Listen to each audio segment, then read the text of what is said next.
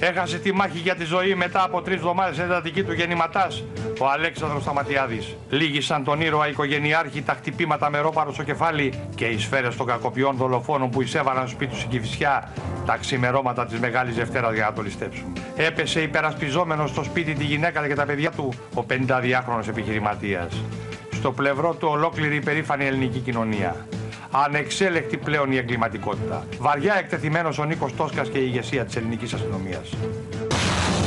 Σκληρή επίθεση στην Ελλάδα μετά την απόφαση του Συμβουλίου της Επικρατείας να αφήσει ελεύθερο έναν από τους 8 Τούρκους στρατιωτικούς από Υπουργείο Εξωτερικών και Πρωθυπουργό της Τουρκίας. Επιμένει στην έκδοση των πραξικοπηματιών προκειμένου να δικαστούν από την τουρκική δικαιοσύνη η Άγκυρα. Χαρακτηρίζουν προστάτη πραξικοπηματιών τη χώρα μας οι Τούρκοι. Συνδέουν ευθέως την απόφαση του Ανωτάτου μα δικαστηρίου για τους 8 στρατιωτικούς με την απελευθέρωση των δύο μονίμων στελεχών του στρατού μας.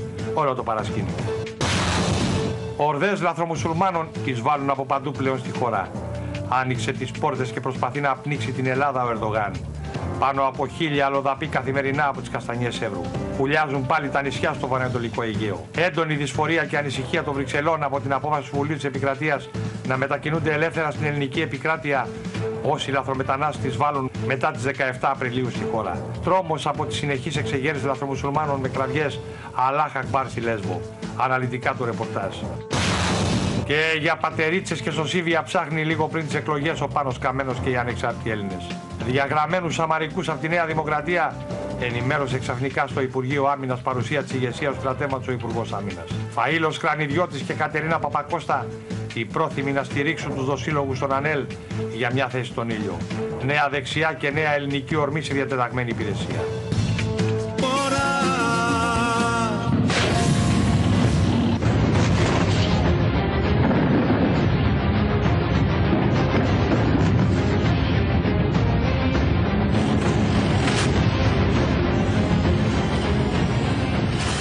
Κυρίες και κύριοι, καλησπέρα σας. Παρασκευή βράδυ 20 Απριλίου και το όποιος θέλει ειρήνη προετοιμάζεται για πόλεμο ισχύει παντού. Ισχύει ακόμα και για την απίστευτη εγκληματικότητα η οποία πλήττει την πατρίδα μας.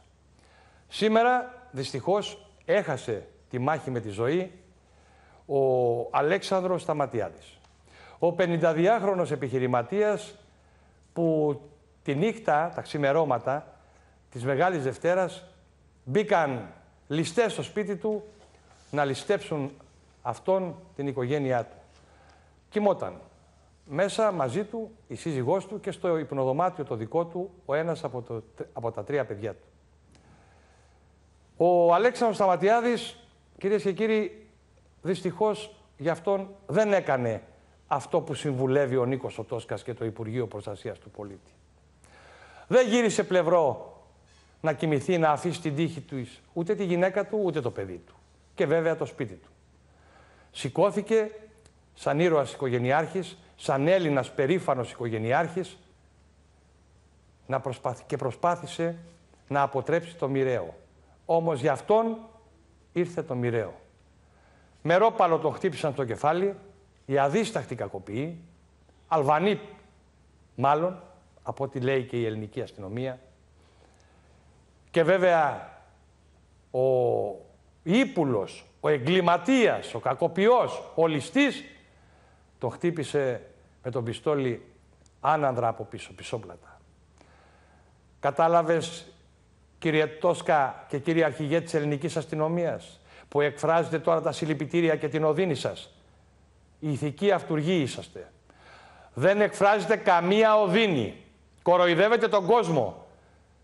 Σαν τον Σταματιάδη υπάρχουν εκατοντάδες, χιλιάδες πολίτες Έλληνες, οι οποίοι δεν έχουν το δικαίωμα, από ό,τι φαίνεται, να υπερασπίσουν ούτε τον εαυτό τους, ούτε την οικογένειά τους. Εσείς όμως οπλοφορείτε.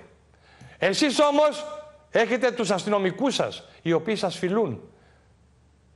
Για να δούμε, θα σας πήγαινε καλά αν το πάθει κάποιο μέλος της οικογένειας σας. Αν το πάθετε εσείς οι ίδιοι, σαν δεν τρεπόμαστε, σαν δεν τρέπεστε καθόλου. Είμαι πάρα πολύ συγχυσμένος κυρίες και κύριοι. Γιατί αυτός ο Νίκος ο Τόσκας και ο Παρασκευόπουλος, ο Νίκος ο Παρασκευόπουλος, ο οποίος έφτιαξε τον νόμο να βγαίνουν οι εγκληματίες μέσα σε χρόνο ρεκόρ από τη φυλακή, σαν να περνάνε, να πίνουν, να τρώνε, να λένε μια καλησπέρα και να ξαναβγαίνουν έξω να συνεχίζουν το θεάρεστο έργο τους. Αυτή είναι η κατάσταση η οποία έχει δημιουργηθεί. Η εγκληματικότητα έχει ξεπεράσει το κόκκινο. Γρήγορα, άμεσα. Ο κάθε πολίτης έχει δικαίωμα, κύριε Τόσκα, να αμήνεται και να προστατεύει την οικογένειά του. Και αν δεν τους δώσεις άδειες, αν κύριε της κυβέρνησης δεν τους δώσετε άδειες, ο καθένας θα έχει παράνομα όπλο. Σας το λέω εγώ.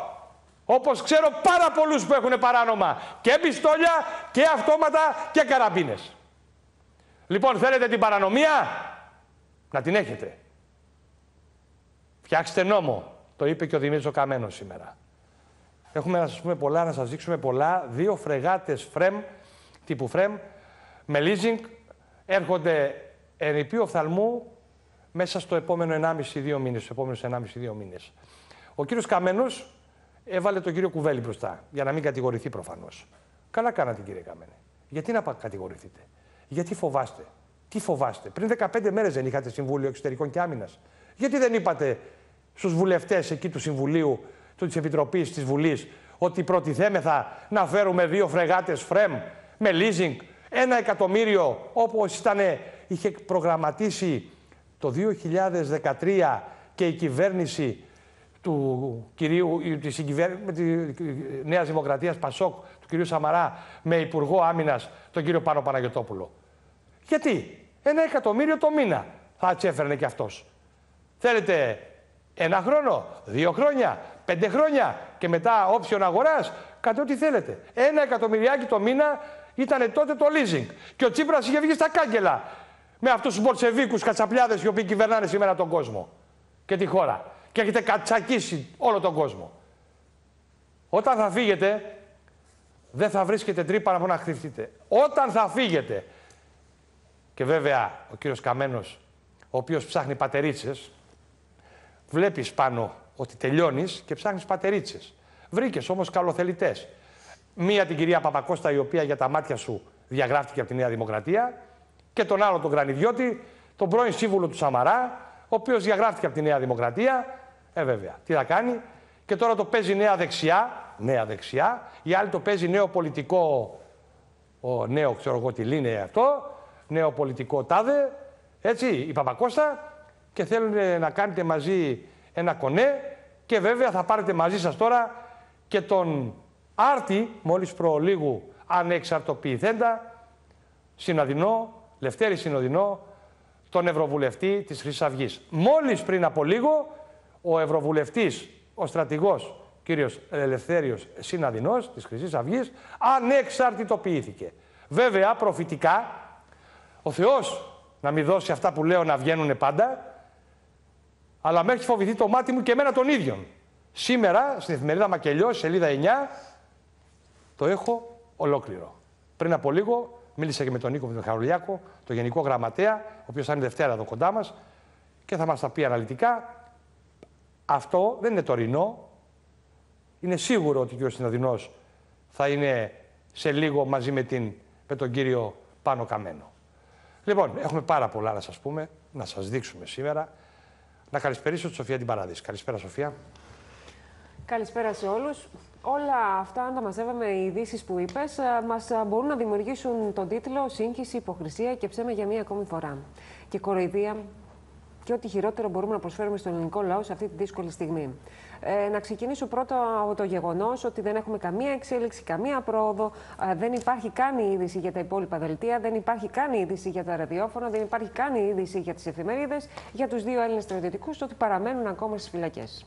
Και τα πράγματα έχει χειροτερεύουν. Ξε... Αυτή η είδηση έχει εξαφανιστεί και μάλιστα όταν έχουμε ειδήσεις που μας οδηγούν και μας δίνουν το συμπέρασμα ότι δυστυχώς και η ζωή τους στη φυλακή θα, γίνεται, θα πηγαίνει από το κακό στο χειρότερο και η υπόθεση δεν πρόκειται ποτέ να κλείσει με, το, με θετικό πρόσημο, παρά μόνο με αρνητικό.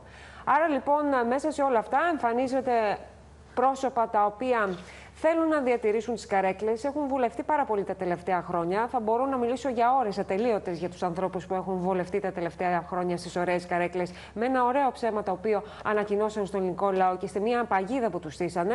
Μου φαίνεται γελίο στο να δημιουργούνται κόμματα από ανθρώπους που προέκυψαν και βολεύτηκαν ακόμα και σήμερα είναι βολεμένοι για να ακολουθούν μια συγκεκριμένη πολιτική στάση, ακόμα και σήμερα είναι βολεμένοι για να ακολουθούν συγκεκριμένη τάση. Και επίσης θεωρώ ότι ε, αγγίζει τα όρια της υποκρισίας το γεγονός ότι είμαι κάπου, καταγγέλω ότι αυτό το κάπου που είμαι δεν είναι καλό, ότι κάνει κακό στον ελληνικό λαό, άρα ακολουθώ την πιο σωστή μέθοδο για να καλύψω τα συμφέροντά μου. Δεν παρετούμε, παρετούμε από τη Χρυσή Αυγή, όπως έκανε ο κ. Δεν παρετούμε όμως από τη θέση, από το ρόλο και από την, ε, την καρέκλα που έχω. Ανεξαρτητοποιούμε. Και αφήνω και ένα, αν θέλεις, ε, μία ανακοίνωση ότι εγώ θα δουλέψω πολύ σκληρά για αυτή την πατρίδα για μία ακόμη φορά. Νομίζω ότι αυτό αγγίζει τα όρια αποκρισίας. Εάν, ε, πρώτα απ' όλα, ο ελληνικός λαός έκανε μία, επέλεξε κάποια πρόσωπα. Κακός, κακός. Έχεις μία θέση. Δεν σου αρέσει; Πρέπει να την αφήσεις τη θέση σου. Διατηρείς τη θέση, διατηρείς το ποσό που παίρνεις. Κορυδεύεις το λαό και λες: Εγώ αγωνίζομαι. Νομίζω θα ότι πούμε αυτά. σήμερα και πολλά από το παρασκήνιο. Έχει...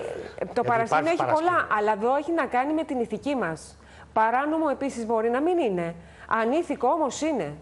Δηλαδή, δεν μπορείς να κορυδεύεις τρία ολόκληρα χρόνια ως Ευρωβουλευτής γιατί δεν έχεις κάνει τίποτα. Δεν, έχει, δεν υπάρχει κανένα θετικό πρόσωπο. Δεν έχεις υπερασπιστεί την Ελλάδα, δεν έχεις υπερασπιστεί και προστατεύσει τους Έλληνες. Και βγαίνεις τώρα και με μία ανακοίνωση σου λες ότι εγώ δεν περνούσα καλά εκεί. Παραμένω όμως. Μπορούμε διατηρη... να δούμε παρακαλώ πολύ την ανακοίνωση όλα τα προσόντα. του κυρίου Λευθέρη Συνοδίνου. Η ανακοίνωση έχει και πάρα πολλά θέματα πολιτικού ενδιαφέροντος, το οποίο θα τα συζητήσουμε και κατά τη διάρκεια. Γιατί οι λέξεις που χρησιμοποιήσει ο κύριος ε, Συναδεινός δεν είναι τυχαίε. Διεπίστωσα λοιπόν ότι εντός του κινήματος δημιουργήθηκε σταδιακά ένα στενός κύκλος άεργων προσώπων με μηδενική προθυμία να αναλάβουν έστω και την ελάχιστη πρωτοβουλία να, απο... να ανταποκριθούν στον παλμό ενός πέννητος λαού. Άκου. Ποτέ ως σήμερα δεν δέχτηκα να συμβιβαστώ ή και να δεχτώ εκτόσει σε θέματα που αφορούσαν στην ηθική μου, στα πιστεύω μου και στην αξιοπρέπειά μου. Από σήμερα λοιπόν θέτω εαυτόν εκτός Χρυσής Αυγής. Και υπογράφει ως ανεξάρτητος βουλευτής πλέον. Η επιστολή Ανε... του έχει την υπογραφή ω ανεξάρτητος βουλευτή. Ο ανεξάρτητος βουλευτής. Θα τα συζητήσουμε αναλυτικά γιατί σήμερα δεν ξέρω, Σοφία. Ήταν τυχαίο; Ήταν, ε, ε, γνώριζα κάτι; Ε, ήταν, είχα μια επιφύτηση, δεν ξέρω, μια διέστηση. Ε, ε αναλυτικά σελίδα 9 της εφημερίδας Μακελιό. Ναι.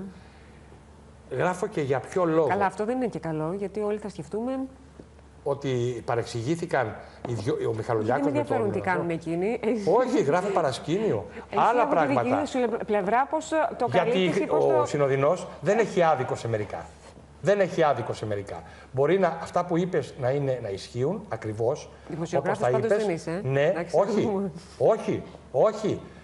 Μπορεί να σου λέω αυτά που είπες να ισχύουν, αλλά θέλω να πω το εξής το παρασκήνιο και αυτά τα οποία συμβαίνουν μέσα στη Χρυσή Αυγή, με την οικογενειοκρατία, με τους βουλευτές οι οποίοι έχουν καβαλεί στο καλάμι, με τα, με τα ό,τι και να έχει δώσει η Βουλή τα έχουν πάρει. Απλά να κλείσω και, και τις γυναίκες των βουλευτών, να κάνουν γυμναστική στο γυμναστήριο κάθε μέρα, να αφήνουν τα παιδιά τους τέτοιο, αυτά ισχύουν. Αυτά ισχύουν και εγώ πιστεύω και γιατί διάβασα το, το, το, άρθρο το οποίο το ξέρω και σήμερα. Το, το θέμα μου όμως είναι, εφόσον όλοι τα βλέπουμε, μην μου πεις τώρα ότι οι κυρίες που πηγαίνουν στο γυμναστήριο δεν το βλέπουν οι υπόλοιποι βουλευτές. Τα βλέπουν όλοι.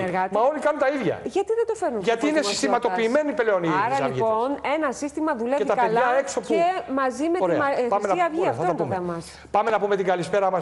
Πάμε να πούμε την καλησπέρα μας στον uh, Σπύρο Σταθάκη. Καλησπέρα. Καλησπέρα, καλησπέρα σε όλους. Εγώ δεν θα μιλήσω για τον κύριο Συναδρινό και για τη Χρυσή Αυγή.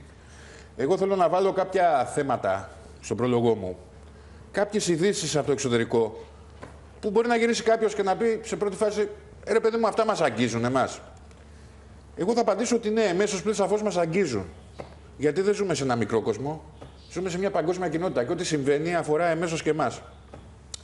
Πριν από λίγες μέρες, ο Αμερικανός Υπουργός Εξωτερικών και αρμόδιος για θέματα Ευρώπης και Ευρασίας, ο Wes Μίτσελ, σε επίσημη ομιλία του στο Κογκρέσο το Αμερικανικό, απείλησε ευθέως την Τουρκία ότι αν αγοράσει τελικά τους S-400 από τη Ρωσία, θα πρέπει να τις επιβληθούν κυρώσεις με βάση το εδάφιο 231 ενός σχετικού νόμου που ψηφίσει το Αμερικανικό Κόγκρεσο, όπου επιβάλλει κυρώσεις σε χώρες οι οποίες αγοράζουν οπλικά συστήματα από τη Ρωσία στα πλαίσια βεβαίως του εμπάρκου που υπάρχει. Σήμερα, μάλιστα, βγήκε ο κ. Λαυρόφ και απάντησε και είπε ότι αυτός είναι εκβιασμός εκ μέρους των Αμερικανών και ότι είναι ένας αθέμητος ανταγωνισμός ε, υπέρ των ε, Αμερικανικών εταιριών που πουλούν οπλικά συστήματα.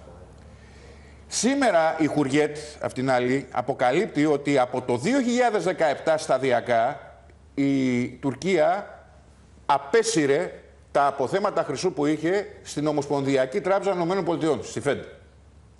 Το ξεκίνησε από το 2017, ήτανε, αυτά τα συγκεκριμένα αποθέματα ήταν περίπου 28,5 τόνοι χρυσού. Θα τα πούμε τα αναλυτικά απέσυρε μετά. σταδιακά και τα πέρασε στην Κεντρική Τράπεζα της Βρετανίας ένα κομμάτι, στην Τράπεζα Διεθνών Διακανονισμών στην Ελβετία και το άλλο το φέρει στην Τουρκία.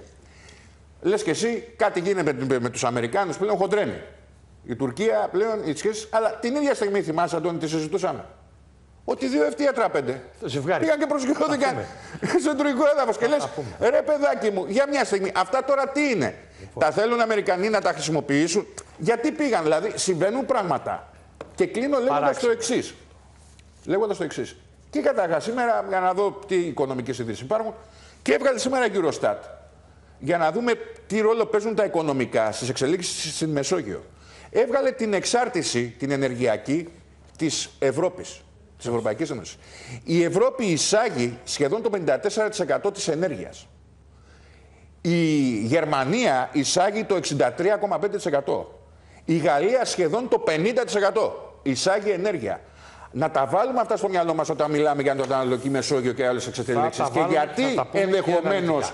ο Μακρόν, και κλείνω με αυτό, που ξέρει ότι Μας το έστειλε τις 50% φρεγάτες. το εισάγει, στέλνει και τις φρεγάτες και Ωραία. έστειλε και το μήνυμα. Λοιπόν, Έτσι. πάμε να, στην εφημερίδα Μακελιό. Έχει ιδιαίτερο ενδιαφέρον σήμερα με τον Στέφανο Δοχείο. Καλησπέρα, Στέφανε. Καλησπέρα κύριε Μιλονάκη. Έχω την εκτίμηση ότι θα μπορούσατε κάλλιστα να ονομαστείτε σήμερα Κασάνδρα των πολιτικών εξελίξεων όσον αφορά το θέμα της αποχώρησης του κυρίου Συναδεινού. Έχουμε το, τη σελίδα, αν θέλετε μπορούμε να τη δείξουμε. Ναι, να τη δείξουμε, Στέφανε, για να τη δείξουμε. Α, το δημοσίευμα αυτό, να παρακαλέσω στο κοντρόλ να δείξουμε το δημοσίευμα. Γιατί όποιος στη δεν την έχει σελίδα. πάρει σήμερα την εφημερίδα, Ναι, να ναι. πάει να την πάρει. Ας πάει. Αξίζει τον κόπο. Ας πάει Γράφουμε να την πολλά, πάρει. πάρα πολλά πράγματα για αυτά τα θέματα όλα τα οποία συμβαίνουν. Ας πούμε να την πάρει να την βρει. Δείξτε το δημοσίευμα ε, του κυρίου Μιλονάκη ότι- που ε, φιλοξενήσαμε, φιλοξενούμε σήμερα στη, στην εφημερίδα Μακελιό. Ο Αντώνης Μιλονάκης έκανε ουσιαστικά μία ε, ανατομία, εδώ είναι το θέμα, η Χρυσή Αυγή στα πλοκάμια του σάπιου συστήματος και της οικογενειοκρατίας. Νομίζω ότι ο τίτλος που έβαλα ήταν σωστός, Αντώνη. Ακριβώς. Και είναι πολύ έτσι ενδιαφέροντα αυτά τα οποία αναδύονται μέσα από το ρεπορτάζ σε τέσσερα τρίστιλα που βλέπω εδώ. Ένα, δύο, τρία, τέσσερα. Τέσσερα δίστιλα με τις φωτογραφίες πρώτα των Ευρωβουλευτών των τριών και είχε μεγάλη και βαρύνουσα σημασία και μετά του Χρήστου Παπά. Εν Και βέβαια συντομία μέσα στο αναφέρονται ρεπορτάζ- και άλλα ονόματα. ναι, όπως... εν συντομία στο ρεπορτάζ αναφέρονται, ναι, αναφέρονται πολλά ονόματα. Αναφέρεται η σύζυγος ε, του κυρίου Παπά. Η οποία είναι έτοιμη να πάει στην Ευρωβουλή, σε πληροφορώ. Ναι, αναφέρονται τα ονόματα των τριών Ευρωβουλευτών, το όνομα του κύριου Μιχαλολιάκου, το όνομα του κύριου Κασιδιάρη κλπ. Το θέμα είναι το εξής. Εγώ επειδή δεν κάνω εκπτώσεις στην ειδησιογραφία όπως, κάνει, όπως δεν κάνει και ο κύριος Συνο- Συναδεινός στην αποχώρησή του, στη δήλωση αποχώρησης. Θέλω να κάνω ένα ερώτημα στον κύριο Συναδεινό και ένα ερώτημα σε εσάς. Το πρώτο στον κύριο Συναδεινό. Αληθεύει κύριε Ευρωβουλευτά, ανεξάρτητε, ότι σε ένα δωμάτιο 3x3 έχετε μαζευτεί όπως γράφει το ρεπορτάζ. Κάποιοι και οι τρεις ευρωβουλευτές, ρωτάω αν αληθεύει, με αποτέλεσμα να λαμβάνετε το μισθείο που σας οφείλει η Ευρωβουλή για να έχετε γραφείο στην Αθήνα, αν κάνω λάθος διόρθωσέ με κύριε Μπιλονάκη, και να, ε, να παίρνετε τα χρήματα και να ζείτε τ- τρεις νομά σε ένα δωμά. Είμαι σαφής σε αυτό που λέω. Περιμένω τον κύριο Συναδρό να μου απαντήσει. Τι κάνεις; Αληθεύει ότι η Ευρωβουλή επιχορηγεί ενίκιο στους ευρωβουλευτές. Αληθεύει επίσης ότι έχετε τρεις ευρωβουλευτές, ένα γραφείο νοικιασμένο και τα υπόλοιπα χρήματα δεν ξέρω πού πηγαίνουν.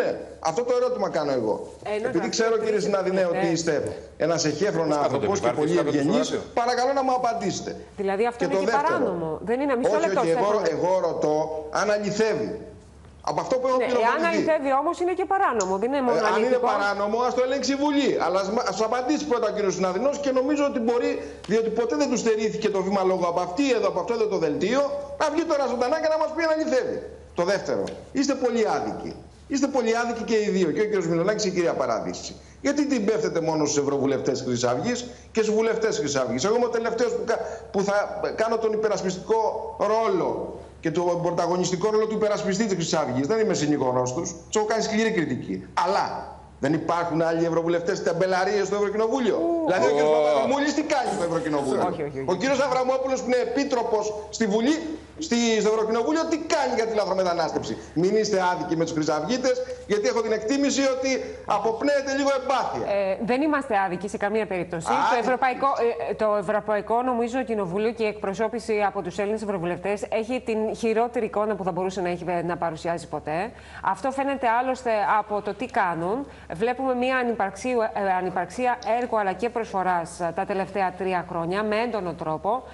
Ε, τι- έτυχε τώρα να κάνει μια κίνηση ο κύριος Συναδεινός που με αφορμή αυτό ε, Το φίλο στα- την κάλυψε. εστιάσαμε και επίσης Στέφανε η Χρυσή Αυγή μπήκε και βγήκε αν θέλεις στο φως δημοσιότητας και στο προσκήνιο με μια ταμπέλα ότι θα φέρει τα πάνω κάτω, θα εργαστεί 100, 24 ώρες το 24ωρο για την Ελλάδα.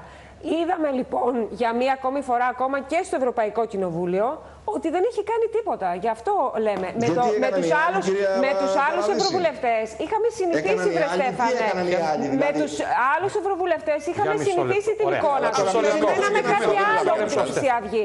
Όταν περιμένεις κάτι Δεν άλλο, είναι το θέμα η Χρυσή Αυγή, είναι αυτό Όχι, που λέτε η για μισό πεντουσία. λεπτό. Μισό λεπτό. Είναι και Πεντουσία κάτι είναι αυτό είναι που και η Χρυσή λέτε. Αυγή. Στέφανε, Ότι μισό λεπτό. κανένας δεν κάνει τίποτα να Στέφανε, πληρώνεται. μισό λεπτό. Ποιος είπε ότι δεν δουλεύουν οι, οι, βουλε- οι ευρωβουλευτές τη Χρυσή Αυγή. Άκουσε εμένα, γράφω τίποτα ότι δεν εργάζονται. Όχι, δεν είπα για εσά. Εγώ είπα για την κυρία Παραδείσου. Όχι, ότι είναι είπες άλλη. και για τους δύο. Πρώτον. Και εγώ δεν Δεύτερο, ξέρω. τώρα Μισό και λεπτό. εσείς Εγώ δεν πριν από εργάζομαι. λίγο Κάνετε μίλησα. σκληρή κριτική. Πριν Ε, από κύριε λίγο. Λονάκη, κάνετε σκληρή κριτική. Κάνουμε στη Χρυσή όλη Αυγή. κριτική σκληρή. Δεν είναι πατριώτες αυτοί δηλαδή. Άκου, τι είναι; είναι, είναι βεβαίως.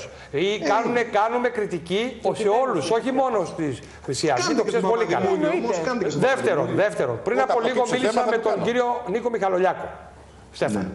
Τη Δευτέρα θα τον έχουμε εδώ. Σε 9 και 4 του ζήτησα σήμερα, δεν μπορεί. Σή- Τη Δευτέρα τον έχουμε εδώ. Γιατί, Πολύ ευχάριστο να το παρακολουθήσω. διότι, διότι, αγαπητέ μου Στέφανε, αυτά που διάβασε, ο ίδιος μου το είπε, είναι απολύτως ακριβή. Άρα λοιπόν, Στο ό,τι ρεπορτάζ. γράφω μέσα είναι ακριβή. Εγώ δεν Αυτά, αμφισβήτησα το ρεπορτάζ, Αντώνη. αυτά τα οποία γράφω, Στέφανε, δεν είναι τωρινά. Το δωμάτιο υπάρχει. Ένα γραφείο υπάρχει στην Ελλάδα από τους ευρωβουλευτές. Ναι. Εγώ δεν μιλάω ούτε αν είναι παράνομα ούτε τίποτα. Εγώ λέω ακριβώς αυτά που συμβαίνουν. Ένα γραφείο Ή μέσα, έπρεπε να μέσα, υπάρχουν στη, τρία. μέσα Όχι, στο ένα λεπτό, κοινοβούλιο. Αντώνη, Αντώνη, είναι με- σοβαρά αυτά που λες. Μέσα Ένα στο... γραφείο ενώ έπρεπε να υπάρχουν τρία. Ο καθένας πρέπει να έχει το γραφείο του. νομίζω. Έτσι. Γιατί δεν υπάρχουν Μέσα, δε- α, δε- εγώ λέω τι έχω γράψει. Μέσα στο ελληνικό κοινοβούλιο, Στέφανε, οι γυναίκες των βουλευτών της Χρυσής Αυγής έχουν όλα τα προνόμια και τα εκμεταλλεύονται μέχρι εκεί που δεν παίρνει. Έχουν καβαλήσει στο καλάμι και κάνουν κάθε μέρα. Εγώ μπορώ να πω και ονόματα αυτή τη στιγμή, θα τα πω τη Δευτέρα που θα έρθει εδώ με Καλογιάκος. Ε, πείτε ονόματα. Λοιπόν, γιατί όχι, θα δεν τα πω ονόματα. Δευτέρα. Με ονόματα. Οι σύζυγοι οι οποίοι αφήνουν τα παιδιά τους στον παιδικό σταθμό και κάνουν γυμναστήριο πέντε ώρες την ημέρα για να φτιάχνουν τα κορμάκια τους. Τρίτον, υπάρχουν παιδιά τα οποία έχουν τρέξει για το κόμμα και, παρα... και έχουν τρελαθεί γιατί έχουν βάλει ο ένας το παιδί του, άλλο στη γιαγιά του, άλλο στην αδερφή του. Άρα η οικογενειοκρατία καλά κρατεί. Και το κυριότερο, ο Νίκος ο Μιχαλολιάκος ήταν αντίθετος με τους ευρωβουλευτές από την εποχή που ήταν φυλακή, με τους τρεις συγκεκριμένους, πρώτον, ήταν επιλογές του Κασιδιάρη και Δεν ήταν δεύτερον, επιλογές του υπήρχε, Κασιδιάρη. Κάνετε λάθος, υπήρχε, Κάνετε Και εγώ λάθος. το πιστεύω. υπήρχε, δεν κάνω καθόλου λάθος. Κύριε Μιλονάκη, κάνετε λάθος αυτό. Και, και υπήρχε, μισό Θέλετε λεπτό, να σας πω- να ολοκληρώσω, να ολοκληρώσω Συγγνώμη, την Αν ο Συγγνώμη. Κασιδιάρης έχει περισσότερη δύναμη από τη Συγγνώμη, Μιχαλολιάκο, Όχι, τώρα τι να όχι, πούμε. όχι. και να ολοκληρώσω παρακαλώ. Να ολοκληρώσω Ήταν και επιλογές, σύντομα. ήταν επιλογές του που αναγκάστηκε να πει ναι ο Μιχαλουλιάκος και, δεύτερο, και το τελευταίο είχαν εδώ στα χέρια στα δυόμιση χρόνια θα έφευγαν, θα παρετούνται αυτοί οι ευρωβουλευτές και θα μπαιναν οι επόμενοι. Μία από τις επόμενες, για να θέλει το παρασκήνιο, τα ξέρω τόσο καιρό και δεν τα λέω. Λοιπόν τώρα, επειδή μου λες Στέφανε ότι εγώ κάνω κριτική, μάθε ότι εγώ δεν δεν κάνω είπα κάνεις κριτική. κριτική. Λέω Εγώ αυτά τα κάνεις- οποία συμβαίνουν. Η Μονόκριτο. κυρία Δημοπούλου, η οποία είναι η Ειρήνη, η οποία είναι η σύζυγος του κυρίου Παπά, η οποία την έχει βάλει ο Μιχαλολιάκος υπο- μπροστά στο γραφείο του στη Βουλή και το ξέρεις πάρα πολύ καλά, η οποία γράφει στην εφημερίδα Εμπρός, παραπονιέται και συγχύζεται ο Παπάς γιατί δεν πήγε στην Ευρωβουλή. Και του λέει ο άλλος παίρνει 20.000 και εμένα μου δίνεις ένα χιλιάρικο και σκοτώνομαι και στην εφημερίδα Εμπρός. Και άλλο ο Παπάς έχει αρχίσει και επισκέπτεται συνέχεια για να βγάλει τον πόνο του το κηλικείο της Βουλής. Μήπως είναι ερωτευμένος με το κηλικείο της Βουλής; Ρωτώ εγώ. Αλήθεια. Ρωτώ εγώ. Να απαντήσω, να δώσω Δηλαδή μια το απάντηση. κηλικείο του- Βεβαίως. Μπορώ να, Μισό μπορώ να λεπτό, πω να κάτι, σε απαντήσει ο παρακαλώ. Στέφανος και- Ναι. Όχι, όχι, όχι, ο κύριος Σταθάκης, γιατί. Μια φράση, Στέφανε, συγγνώμη. Έτσι Έτσι, πρέπει, γιατί έτσι πρέπει. ακούω τα Ωραίο και συζήτηση για να πάμε μετά στα άλλα Ναι. θέματα μας. Γιατί έχουμε Ε, Ο θέμα. κύριος θέλω- Σταθάκης και εγώ Α- 30 δεύτερα. Ναι, Και ναι, εγώ ναι. 30 δεύτερα. Ναι, Στεφάνη μου, άκου. Ε, θέλω να ξεκαθαρίσω κάποια πράγματα. Γιατί σας ακούω τόση ώρα και τους τρεις, δεν είναι να συμμετέχω, αλλά θέλω να πω κάποια πράγματα. Ε, Επειδή είμαι σε αυτό το κανάλι από το 1998. Ναι. Αυτό το, είμαι ο πιο παλιός αυτή τη στιγμή. Εδώ. Αυ- αυτή η εκπομπή και αυτό το κανάλι ήταν πάντα απέναντι και θα είναι και είναι και θα είναι απέναντι στην εξουσία και στο κατεστημένο πολιτικό σύστημα. Δεν το συζητάω αυτό. Και πάντα ασκούμε σκληρή κριτική σε όλους. Αλλά ξέρετε κάτι, και το λέω στους πολίτες. Εγώ προσωπικά μιλάω στο Σπύρος, έτσι. Δεν μιλάω ούτε υπέρ της εκ μέρους της Σοφίας, ούτε του Αντώνη. Θα ασκήσω ακόμα πιο σκληρή κριτική όμως σε αυτούς οι οποίοι προεκλογικά είπαν ότι δεν θα κάνουν τα ίδια που έκανε το κατεστημένο σύστημα 40 χρόνια τώρα. Ακριβώς. Όταν λοιπόν εγώ βλέπω. Και ο ΣΥΡΙΖΑ τα ίδια έλεγε. Που είναι κυβέρνηση. Όλοι. Αλλά ας μείνουμε τώρα στη Χρυσή Αυγή. Όταν λοιπόν έβλεπα ένα κόμμα που πολύ σωστά έλεγε προεκλογικά για μένα. Κάτω η οικογενειοκρατία. Κάτω η φαυλοκρατία. Κάτω ο νεποτισμός. Κάτω τα προνόμια. Γιατί να πληρώνουμε, γιατί να έχουν ε, οι βουλευτές τα προνόμια που έχουν. Όταν λοιπόν τα καταγγέλεις και μπράβο, και μπράβο, και έχεις δίκιο που τα καταγγέλει προεκλογικά. Όταν έρχεσαι όμως και καταλαμβάνεις το, το βουλευτικό θόκο, κάνεις ακριβώς τα ίδια. Και το λέω αυτό και για τους Σιριζέους. Έτσι, γιατί τα ίδια έλεγα. Συγγνώμη, αλλά θα ασκήσω πολύ πιο σκληρή κριτική. Ωραία. Γιατί έχεις πει το σωστό προεκλογικά, αλλά δεν τα ακολουθείς μετεκλογικά. Ακολουθείς την ίδια τακτική που ακολουθούσαν τα κατεστημένα κόμματα. Νέα Δημοκρατία και Πασόκ. Ωραία, πάμε στο 40 Στέφανο να χρόνια πει και τώρα. αυτός την άποψή του και να 30 περάσουμε στο επόμενο έχει σημασία γιατί αυτό, είναι έτσι. σοβαρά. 25 δεύτερα ακριβώ. Συμφωνώ σε όλα σε όσα είπε ο κύριος Σταθάκης για να μην τρώμε χρόνο. Και το τελευταίο. Δείχνει αυτό που λέει ο κύριος Σταθάκης, που με βρίσκει απόλυτα σύμφωνο, αφομοίωση. Ναι. Αφομοίωση. Αυτή είναι η σωστή λέξη. Συμφώνευση. Όντως. Πάτημα στην κινούμενη άμμο που την πάτησαν τελικά των χρυσαυγητών και του συστήματος των χρυσαυγητών στο κατεστημένο σύστημα. την πάτησαν. Και πρέπει ο Μιχαλολιάκος, αν μας ακούνε Έλληνες πατριώτες που Μας πιστεύουν... ακούει αυτή τη στιγμή σου λέω, μας που ακούει. Πιστεύουν ότι οι χρυσαυγίτες ή ένα μέρος της Χρυσής Αυγής και όχι αυτοί που χαιρετούν, ξέρετε πώς, μπορούν να δώσουν ένα πατριωτικό στίγμα στον τόπο, να ξεκαθαρίσει το θέμα άμεσα. Αν θέλουν να φτάσουν ψηλά. Αν δεν θέλουν θα πάνε πάλι Ωραία. στο Και έχουμε 0%. και άλλα στις επόμενες μέρες και τη Δευτέρα Και θα, ρωτώ και θα κάτι πούμε ακόμα πολύ το οποίο περισσότερα δεν με τον ίδιο. απαντήθηκε. Δεν απαντήθηκε. Έχω καλέσει τον κύριο Συναδεινό που ακούει την εκπομπή. Να μας απαντήσει τηλεφωνικά. Τον καλό. Τον καλό κι ξέρω εγώ. Το, ξέρω Τον καλό το κι εγώ. σθένος Του. Τον Ξέρω καλό τη κι εγώ. στρατιωτική του Ανδρεία, ξέρω τον πολιτικό του λόγο. Να απαντήσει τώρα. Γιατί προφανώς κάποιο πρόβλημα υπάρχει. Εκτός αν Τρεις διάβασε το δημοσίευμα νομά και σε ένα πίστεψε. δωμά. Θα μπορούσε να κάνει διάψευση από το πρωί. Εκτός Τρεις αν διάβασε νομά- το δημοσίευμα. Τρεις νομά σε ένα δωμά. Πείτε μας στρατηγέ, τρεις Εκτός- νομά σε ένα νομά. Εκτός Στέφανε και αν διάβασε το δημοσίευμα και τα ρίξε στο Μιχαλολιάκο ότι το έδωσε αυτό στο δημοσίευμα. Ή το διάβασε ανάποδα. Ξέρεις Κρατούσε πολύ την καλά, εφημερίδα πες και ανάποδα. αυτό. Το Γιατί ξέρεις σήμερα πολύ ήταν καλά ο στρατηγός εσύ. Το περίπτερο που κρατούσε την εφημερίδα ανάποδα. Το ξέρουν και τα Μήπως παιδιά είναι εδώ. ο Συναδεινός, Από, από προχθές σκέφτομαι να το γράψω, το θυμάσαι; Στο είχα πει, σκέφτομαι πολύ, αλλά πρέπει. Να που έγινε. Και θα έχουμε και συνέχεια. Έτοιμος Τώρα πρέπει να ο, γίνει ο κριτική επιτίδιος. Αντώνη. Τώρα Έτοιμος ο είναι ο πατριωτικός επιτίδιος. χώρος Μπαίνει στην τελική ευθεία. Τώρα πρέπει να γίνει κριτική. Στέφανε, αυτό κάναμε. Λοιπόν, πάμε τώρα στο άλλο θέμα, το πολιτικό. Και μετά πάμε και στα υπόλοιπα τα οποία είναι πολύ σοβαρά. Ο κύριος Καμένος, ο άνθρωπος τελειώνει η θητεία του, έκανε τρία χρόνια και κάτι υπουργός Εθνικής Α, συγγνώμη, Αντώνη, συγγνώμη σε διακόπτω. Ναι, ναι. Ό, όχι, είπες κάτι πολύ σοβαρό το οποίο πρέπει να απαντηθεί. Συγγνώμη σε διακόπτω, δεν σου χαλάω τη ροή. Ναι. Είπες ότι ο κύριος Συναδεινός θα προσχωρήσει τον κύριο Καμένο. Ακριβώς. Αυτό είναι πολύ σοβαρή πολιτική είδηση. Θα σου πω κι άλλες. Θέλεις άλλες; Βέβαια, είναι πολύ σοβαρή Θα σου πολιτική. πω κι άλλες. Θα πάρει σε λίγο και τον επιτίδιο. Θα πάρει λες και τον... τώρα. Ε, μιλάμε για ανταρσία, μιλάμε για αποστασία. Προχωράμε γιατί θα Για πάρει κι άλλους. κοροϊδία. Θα πάρει κι άλλους. Τι αποστασία μου λες. Η Β' Αθηνών κατεβαίνει ο παπάς. Δεν θέλω να αρχίσω να σου λέω τώρα, θα τα πω τη Δευτέρα όλα. Εδώ, ένα λεπτό, εδώ έχουμε σοβαρό κίνημα αποστασίας μέσα στη Χρυσή Αυγή. Αυτά που λες είναι πολύ σοβαρά. Δεν μπορώ να τα αφήσω έτσι εγώ. Δεν σου έγραψα αρκετά. Ναι, Ο δεύτερος Όταν γύρος πίσω τη έτσι, Δευτέρα. εγώ, Δεν τα πίστεψες, Στέφανε. Δεν τα πίστεψες. όχι δεν τα πίστεψα. Τα, πει, τα διαβάζω. Τι σημαίνει δεν τα πίστεψα; Να που βγαίνουν. Λοιπόν, άκου τώρα και το καινούριο. Άκου και τα Αποστασία υπόλοιπα είναι λοιπόν. τίτλος. Άκου και Να τα που- Να υπόλοιπα. που βγαίνουν.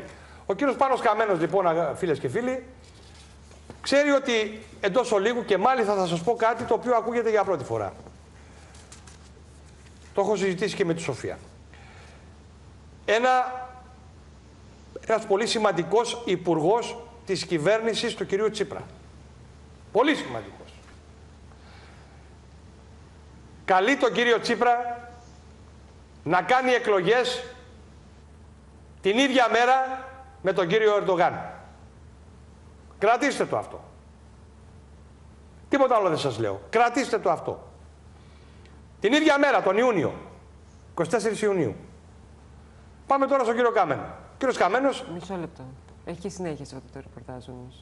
Υπάρχει και κάποιος άλλος υπουργός που ουσιαστικά του δίνει δύο χαρακτηριστικά θέματα, χαρακτηριστικά αν Θα θέλετε, το πούμε και αυτό, άτε. Ναι. Θα το πούμε και αυτό. που του λέει τι είναι αυτό που σκέφτεσαι. Θα έχει χειρότερα αποτελέσματα. Κρατήστε το αυτό που σας λέμε, Εκβιασμός. Στέφανε. Κρατήστε το. Ο εκβιασμός. Κρατήστε το. Εκβιασμός. Ένα. Δεύτερο. Δεν, δεν έγινε, δεν άκουσε, νομίζω δεν άκουσε κανένας. Δεν έγινε σαφή, σαφές αυτό που είπε η κυρία Παραδίση. Η κυρία Παραδίση το συνέχισε λίγο παραπάνω. Πάμε. Άλλος υπουργός είχε άλλη άποψη. Άλλος πολύ καλό. υπουργός Δεν έχει μόνο άλλη άποψη. Του Ε, λέει: τέλος αντίθετη, Έχω ρε. αυτό το θέμα και αυτό το θέμα. Το Πού οποίο... πας, ρε καραμίτρο; Ναι. Μην το κάνεις τώρα, του λέει. Ουσιαστικά, όπως το σκέφτηκες, άφησε το. Δηλαδή, Μια που το είναι σκέφτηκες τόσο πρέπει να ξεχάσει. προχωρημένο το θέμα Θα σκάσει των εκλογών σαν του Ιουνίου για τον κύριο Τσίπρα, Θα σκάσει σαν βόμβα, άρα δεν μπορείς να κάνεις εκλογές. Στέφανε, που δεν μπορεί να φανταστεί κανένας πόσο κοντά είμαστε. Ο κύριος Καμένος σήμερα προχώρησε σε μια ενέργεια η οποία φανερώνει έναν πανικό. Κάλεσε, γιατί ψάχνει για δεκανίκια, κάλεσε, αγαπητέ μου πάνω Καμένε, δύο πολιτικά πρόσωπα. Το ένα είναι ο κύριος Φαΐλος Κρανιδιώτης και ο άλλη είναι η κυρία Παπακώστα. Και αν για την κυρία Παπακώστα ήταν σίγουρο ότι κάποια στιγμή θα τα βρει με τον καμένο Σοφία, αφού για τα, χα- για τα μάτια του τη διαγράψανε μέσα από τη Βουλή. Όχι και μόνο με τα Ε. χάρτα μάτια του, το είχε πει και η ίδια. Είχε, Δηλαδή είχε αποκαλύψει τη σχέση Σωστά. που υπάρχει μαζί τους. Για τον κύριο Και γνωρίζετε Κρανιδιώτη, και από το παρελθόν, ε, από Σωστά. τα κοινά βήματα που ο είχαν κάνει οποίος στη Νέα μέχρι Δημοκρατία. προχθές τον έλεγε Μπουχέσα, του έλεγε Μπούρδες, Μπούρδες Έλα. που παριστάνει στο στρατάρχη Περσινά όταν ξύλα στα πέταγε φίλια. το, το 16 το Στεφάνι στη θάλασσα εκεί στα Ήμια. Τι του έλεγε, Μπούρδες, Μπούρδας, Μπούρδα τον έλεγε, Μπούρδα. Είναι Μπούρδας ο κύριος Κάμενος. Σήμερα λοιπόν ο κύριος Κάμενος, το βλέπετε, κάλεσε τους δύο για να τους ενημερώσει ποιους, τους δύο οι οποίοι έχουν τα κόμματά τους και είναι αυτοί και τα κόμματά τους. Αυτοί και τα κόμματά τους. Για να τους ενημερώσει κορδωτός ο Φαΐλος, ο χθεσινός σύμβουλος ο Σαμαρά, ο αντιμνημονιάκιας κατά τα άλλα, η κυρία Παπακώστα, η κυρία Επισαμαρά ήταν υπουργίνα. Σήμερα λοιπόν πήγε να τα φτιάξει με τον Καμένο. Και έφερε και τους αρχηγούς των όπλων μαζί με τον αρχηγό Γεθά, κάθεσε σε ένα γραφείο να τους ενημερώσει γιατί.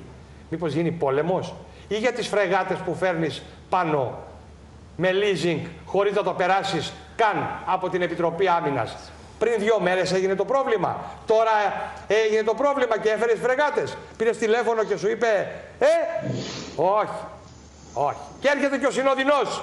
«Στέφανε, Αυτές είναι κινήσεις. σήμερα έγιναν όλα αυτά. Στέφανε». Αυτές είναι κινήσεις πολιτικής απελπισίας. Όχι. Πολιτικής απελπισίας Αυτή η είναι κίνηση- κινήσεις αυτές τώρα. Αυτή η κίνηση συγκεκριμένη που έκανε σήμερα ο κύριος Καμένο, θα μου επιτρέψετε να σας Για πω τον ότι το Καμένο. έκανε ναι, ουσιαστικά για να στείλει ένα μήνυμα και στο Μέγαρο Μαξίμου. Ακριβώς. Στέφανε, παρακαλώ.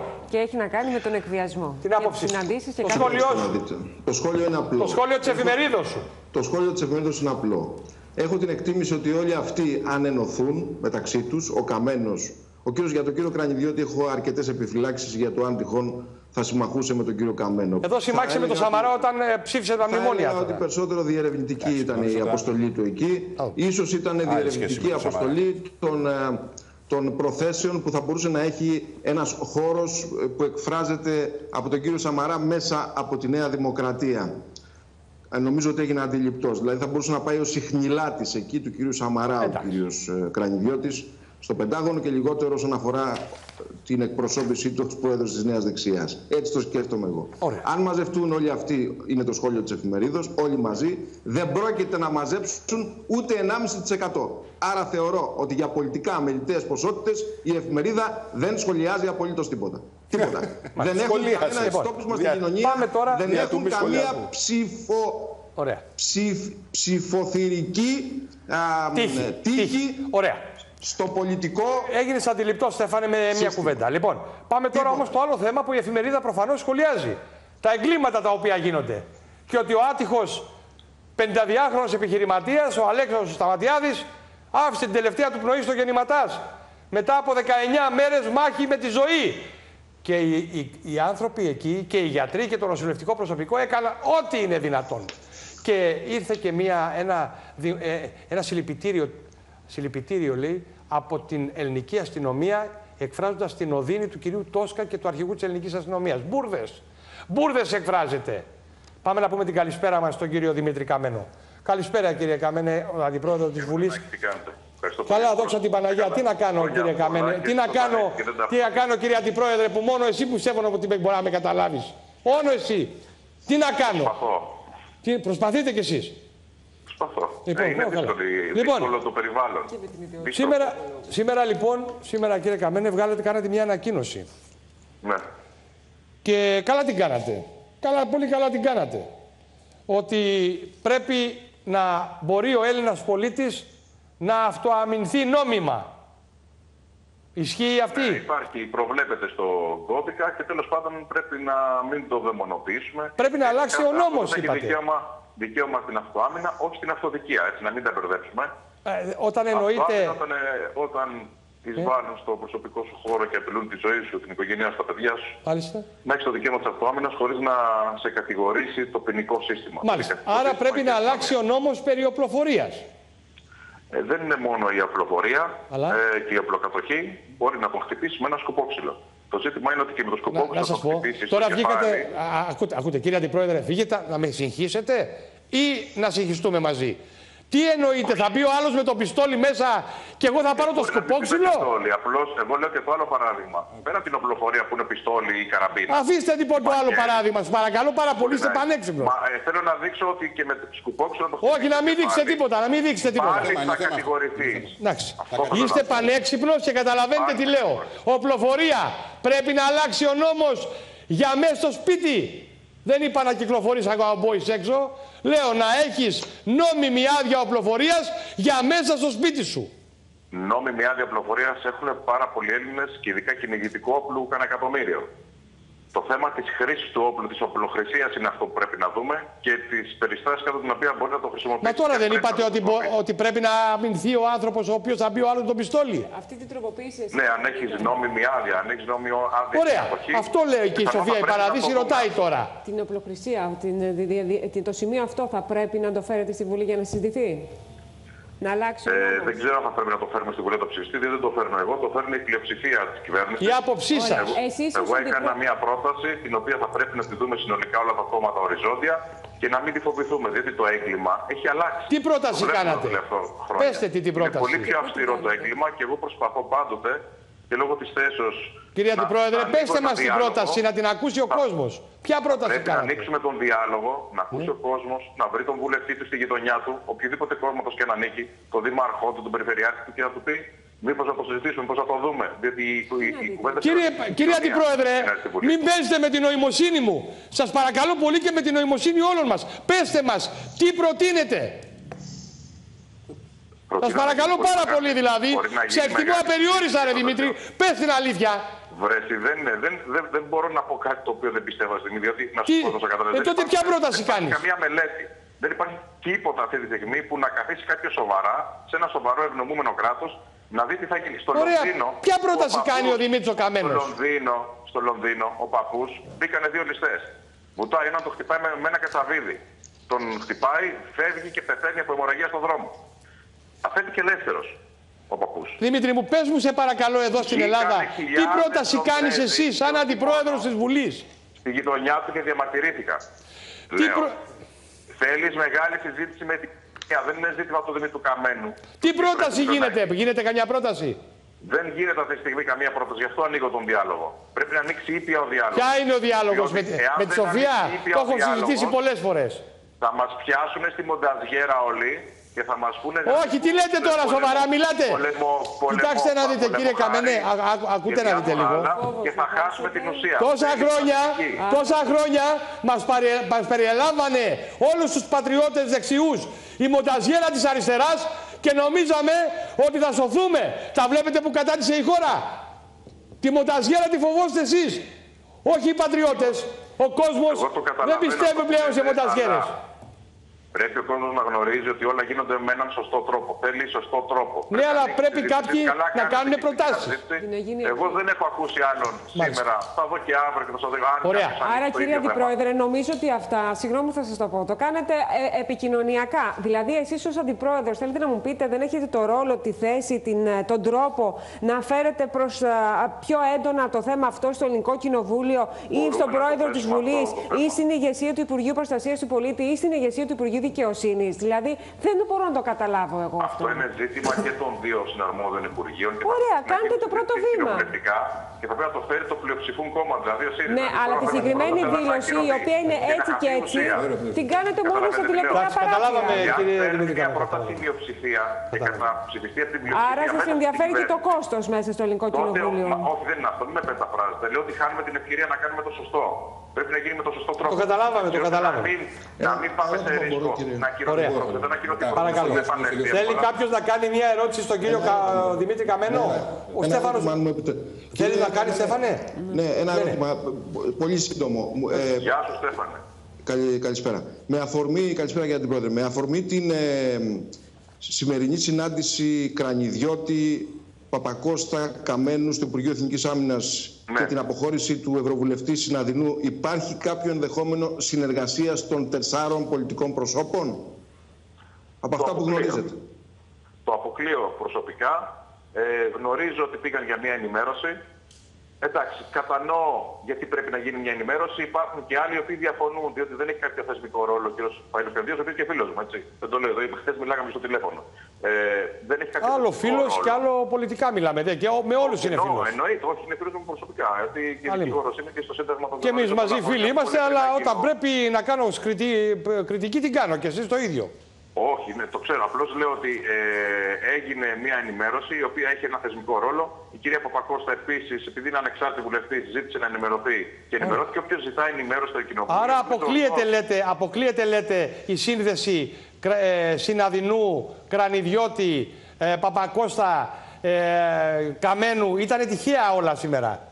Εγώ δεν μπορώ να πω κάτι γιατί αυτό είναι και προνόμιο του Προέδρου Εντάξει. του ίδιου και δεν μου είπε και Καλά, τίποτα και αυτό δεν ήταν το γνωρίζω. καλύτερο. Επειδή είπατε Απλώς προηγουμένως όχι, γνωρίζω- αυτό που είπατε τώρα ήταν το καλύτερο. Ότι δεν μπορεί να πείτε γιατί Γνωρίζω είναι 10 θέμα πρόεδρου. πράγματα που πιστεύει ο Φαΐλος, ο φίλος μου. Ε, τότε και ο Συναδεινό, εντάξει, δεν το γνωρίζω πολύ. Πώς καλά. ξεφεύγετε, είστε πανέξυπνος. Εγώ το, βγάζω το καπέλο, το έχω πει πάρα πολλές φορές. Στεφανέ, φοράς καπέλο, τι είναι, λύση. είναι πανέξυπνος. Μπορεί να ξεφύγει σαν χέλι. Φίλοι, Αν δεν φίλοι, ήταν φίλοι, έτσι, φίλοι. Κατάλαβε ότι ήταν ε, το Κοιτάξτε, πρώτο. αν πάει και ο Βελόπουλος, τότε θα, σε- θα με φωνάξεις. λοιπόν, καλή νύχτα. Καλό Ευχαριστούμε βράδυ. πάρα πολύ, Παρακαλώ, Ευχαριστούμε. Λοιπόν, πάμε. Ναι, ναι, μια κουβέντα για να Ένα πάμε. σχόλιο γι' αυτό. Αυτό να δούμε το Βελόπουλο να συνεργάζεται με τον Καμένο. Θα Γιατί πουλάω, όλα είναι πιθανά, θα ρε πουλάω Στέφανε. μόνος Ρε μου Στέφανε. κρέμες με τα κυραλιφές. Στη, στην πολιτική το ξέρεις καλά, σε χρόνια δημοσιογράφους όλα πιθανά είναι. Μην Ναι, ναι, αποκλείσεις θα πουλάω τίποτα. κυραλιφές, θα Μην πουλάω αποκλείσεις τίποτα. κυραλιφές. Αλλά πρέπει να καταλάβει ο κόσμος, όχι εμείς, το εξής.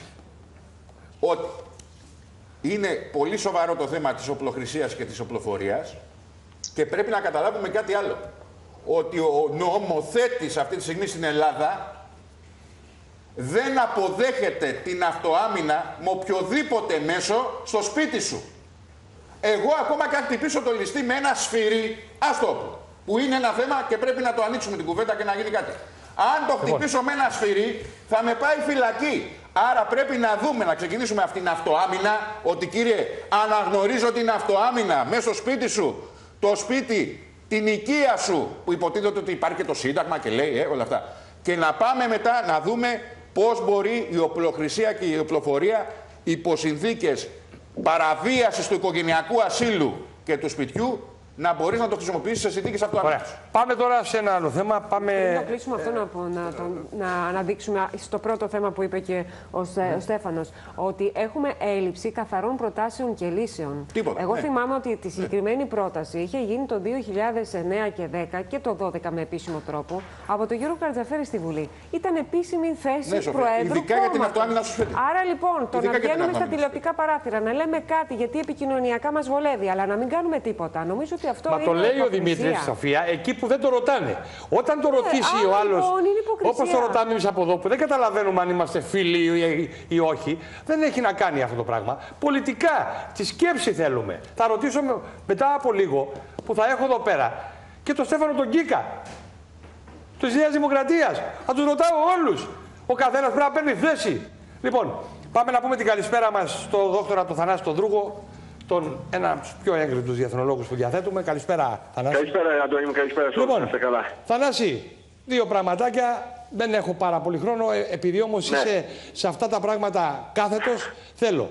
Πρώτον, δύο φρεγάτες τύπου FREMM με leasing. Τώρα, αν είναι ένα εκατομμύριο όπως ήταν το 2013, που ο Γκίκας όταν ήταν κυβέρνηση, η συγκυβέρνηση Νέας Δημοκρατίας η- η- του, Πασόκ. και του Πασόκ, α, με τον κύριο Πάνο Παναγιωτόπουλο. Είχαν παραγγείλει, ήταν έτοιμοι να παραγγείλουν και τότε δύο φρεγάτες. Ένα εκατομμύριο το μήνα η μία leasing και με option αγοράς. Αν είναι τώρα, αυτές είναι καλές φρεγάτες του 12, πολύ σύγχρονες, το ξέρεις πολύ καλά, και δύο επιπλέον που σκέφτονται να παραγγείλουν από τις πάρα πολύ καλές ψηφιακές οι οποίες είναι στα σκαριά και τε- θα το παραδοθούν στο γαλλικό ναυτικό το 2023, η Bell Arc, Λοιπόν, αν τυχόν, λέω αυτές, ήρθαν ξαφνικά εδώ στην πατρίδα μας, πρώτον. Δεύτερον, τι γίνεται με τα ελληνοτουρκικά, διότι οι Τούρκοι έχουν βγει στα κάγκελα, λένε καθαρά ότι δεν θα τους ξαναδείτε τους δύο Έλληνες στρατιωτικούς, γιατί είσαστε αυτοί οι οποίοι καλύπτατε πραξικοπηματίες,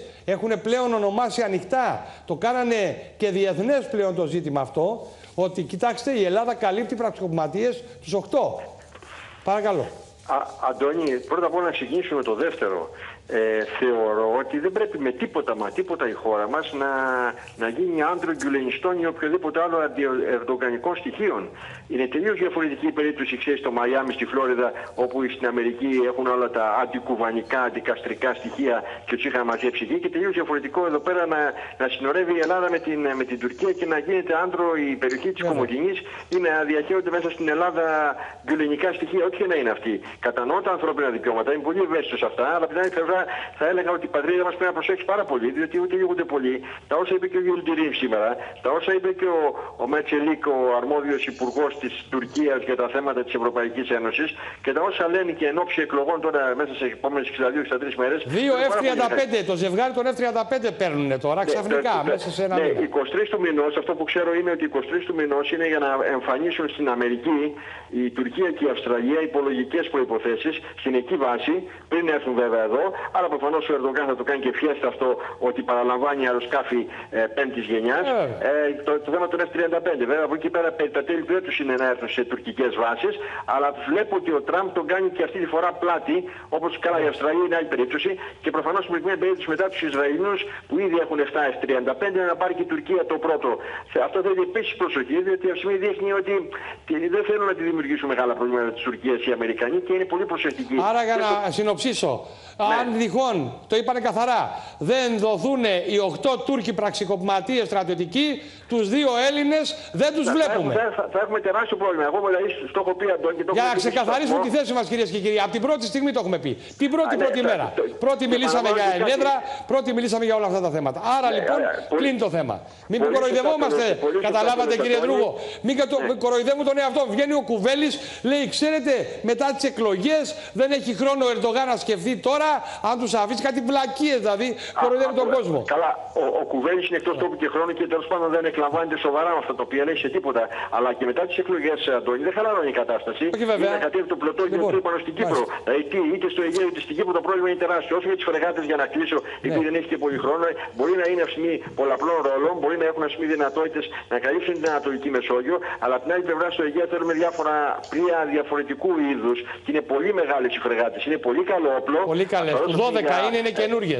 ε, και, και, και καινούριε βέβαια του 2022-2023, δεν κάνω λάθο, οι, οι εκεί φρεγάτε η Μπελάρα και αυτέ είναι Οι πολύ καινούριες, καλές. οι καινούριες Μην ξεχνάμε θα ότι συνεργάζονται και με το αεροπλανοφόρο, Ωραία. το Σάλτε Γκολ, το γαλλικό και με πυρηνοκίνητα Θα υποβρύχια. μα τα πει σε και ο επίπεδο κύριο Γαλλίας, Γκίκα που είναι και Ευρώπης. ναυτικό και ήταν και στα πράγματα τότε που παραγγέλνει που είναι- πήγε να είναι παραγγείλει. πολύ- είναι πολύ Αυτό που καλές. βλέπετε εδώ κυρίε και κύριοι είναι η καινούργια φρεγάτα, η Μπέλαρ, η οποία αν θα μας δοθεί, θα μας δοθεί μετά το 2023, θα την πάρει το πολεμικό ναυτικό της Γαλλίας. Είναι ψηφιακή, είναι η τελευταία λέξη φρεγάτας.